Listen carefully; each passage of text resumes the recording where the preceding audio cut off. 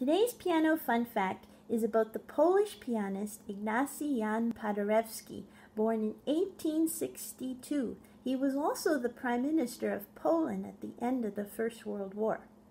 Now, our fun fact comes by way of a short story written by the American author William Sydney Porter, who was born just two years after Paderewski in 1862. Now, you probably haven't heard of William Sydney Porter but you have heard of O. Henry. Not the candy bar O. Henry, but the short story writer O. Period Henry. Now, I had heard on the Golden Girls, that, that old sitcom, uh, there's an episode where Dorothy Zbornak, the character played by Bea Arthur, says to Rose Nylund, uh, Betty White's character, that, oh, your dad had more stories to tell than O. Henry.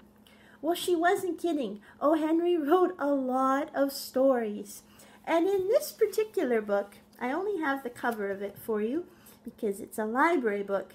But I was looking at it recently over the summer and I found a doozy of a story in it. You're going to have to buckle your seatbelts for this fun fact.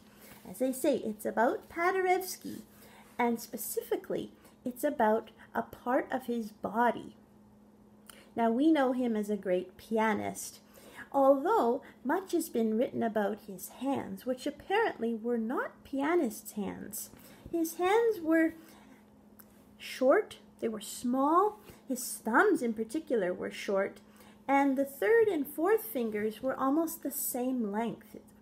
Uh, and there are some pictures of his hands, you can see this. Uh, someone, ironically, said that he had the hands of a politician. So, not the pianist's hands, had Paderewski. Uh, similarly, when he went to study with the famous Leschetizky in Vienna, now Paderewski was already in his mid to late 20s, and Leschetizky was hardly taking him seriously. He thought it was just a whim that this uh, man wanted to become a concert pianist at the age of, what was it, 27. Far too late, he thought. Um, and Leschetizky told Paderewski, well, with your lips and with your lungs, uh, you are much better suited to play in a concert band, uh, to play the trombone. And Leschetizky remarked that, well, if I asked you to jump out a window, would you do that? And uh, part in jest, I suppose, Paderewski walked over to the window, flew one threw one leg over the windowsill to make as he was going to jump out, and Leschetizky uh, said, Ah, enough, I get it. Let's begin our studies. And, uh, and, and they worked very hard together. Now, I'm building up to this fun fact because it's a really good one.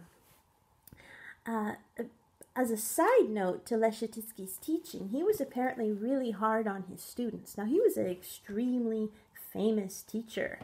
He had many, many uh, students who would go on to become famous concert pianists and famous teachers in their own right. But he was hard on his students, and Paderewski writes that at one point he wanted to throw rocks at Leschetizky's window. And another of Leschetizky's pupils, uh, Fannie Bloomfield Zeisler, a woman pianist, yes, uh, and this is all in the late 19th century, um, she was remarked at having said that if Leschetizky had kicked me out the front steps, I'd have crawled back up the back steps to just to study with him. Imagine having that kind of an effect on a student. Oh, so Paderewski's concert career was begun rather late in his life and he would go on to become one of the most famous and most successful pianists ever. Now, in the story by O. Henry, we have a story about not Paderewski's hands, not his lips, not his lungs, not his great oration skills, his ability to speak seven languages, not about his knowledge of uh, po politics and great literature, but about his hair. Yes, that great head of fiery red wild hair that audiences came to adore, that chrysanthemum of hair. uh, hair that was admired by many, including Queen Victoria. But how did Paderewski come by that hair? How did he get that hair? Well, in this story of O. Henry, we find a very unusual account of how Paderewski got his hair. Now, in this story by O. Henry, he writes about a famous colonel who loved to recount stories to anyone who would listen about all the famous people he knew and the travels he had around the world. And in one, on one occasion, the story involved uh, the colonel having traveled to Africa on a lion hunting expedition with Paderewski and three other individuals Nathaniel Goodwin, known as Nat Goodwin, he was an American vaudeville actor uh, born in 1857. And also on this trip were the Boston Strong Boy, John L. Sullivan, a boxer born in 1858, and Joseph Pulitzer. Yes, the Pulitzer Prize, that guy. And he was born in 1847. So all of these three, along with the colonel and Paderewski, supposedly in this story by O. Henry, traveled on this lion hunting trip to Africa. Now, on that trip, Goodwin and Sullivan, the actor and the boxer, got into a little bit of a heated argument as to who was the better boxer, because apparently Goodwin was quite athletic and skillful with, with punches. And they were debating who would get the better uppercut if such and such happened, and they really wanted to have a duel right there to, to establish the winner. Uh, but they didn't have any boxing gloves. Sitting nearby was Paderewski. Pulitzer was off hunting, but Paderewski was sitting nearby. Apparently, everyone liked him, but he was very quiet and he had this dreamy look on his face, Henry writes. Um, and so Goodwin and Sullivan went over to Paderewski, who at that time, this is supposedly, this is a story, supposedly had jet black hair that went all the way down his back. Black hair is what Paderewski had the beginning of this story. Lots of it.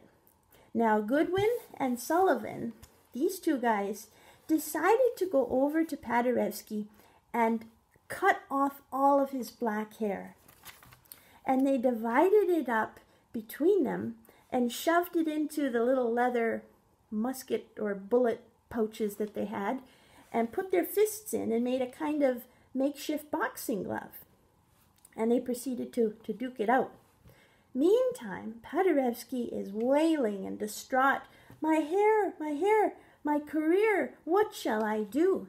And then, that moment, along comes Joseph Pulitzer, this guy here and he had just shot a lion. and he's dragging it by the tail. He must have been a very strong man to drag a dead lion by the tail. Anyhow, he comes upon the scene. He sees the distraught Paderewski with no hair and the other two guys boxing. So he goes over, he says, Paderewski, come here. And they they whisper a little plot. And in no no sooner does Pulitzer cut off part of the mane of the lion, and using a measuring tape, he somehow attaches or fixes some of that lion hair onto Paderewski's scalp. Lo and behold, three days later, the hair has been applied. It's now fixed to Paderewski's hair head, and he has this amazing mane of red hair.